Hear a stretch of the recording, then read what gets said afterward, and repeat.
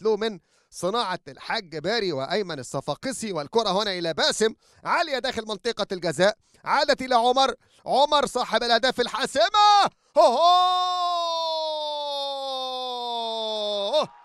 الكاميروني! الكاميروني!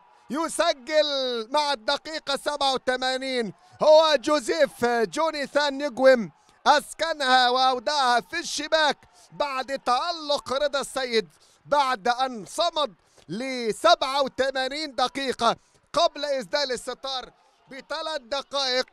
جوزيف جو يظهر من داخل منطقة الجزاء بعد محاولات من فريق فيوتشر. التحضير من أيمن الصفاقسي والراسيه كانت من اللاعب عبد الكبير الوادي والتألق كان لرضا السيد من على الزاوية اليمنى. أبعدها ولكن أكملها في المرمى. الطريق امامه سالك ومفروش بالورود ليضع هدف أول لفيوتشر.